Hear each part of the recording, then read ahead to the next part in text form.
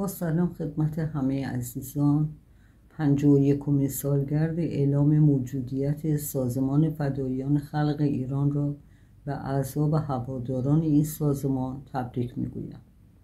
و به روان پاک آزادی خواهانی که در یکی از سیاه ترین دورهای تاریخ ایران جان خیش را فدا کردند درود میفرستم.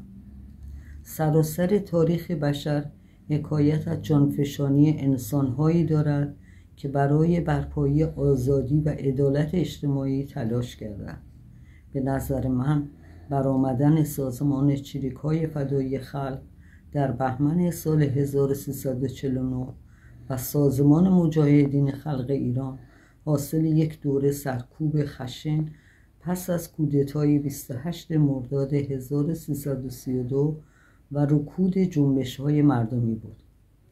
آنان عموما جوانانی تحصیل کرده بودند که می توانستند بدون داشتن دقدقه برای مردم زندگی مرفهی داشته باشند و همچون دیگران زندگی کنند.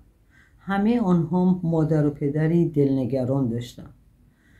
من نیز همانند بسیاری از مادران دیگر هستم که فرزندم در یکی از پرشورترین اعتراضات مدنی سال مدنی سالهای اخیر کشته شد و می‌دانم داغ فرزند تلخترین حادثه زندگی یک مادر می‌تواند باشد.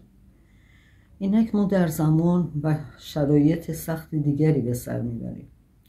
از سولدای جانم آرزو می‌کنم دیگر هیچ مادری به سوگ فرزند آرمان خواهش ننشیند. یاد همه مبارزان راه آزادی و عدالت اجتماعی جاودان باد.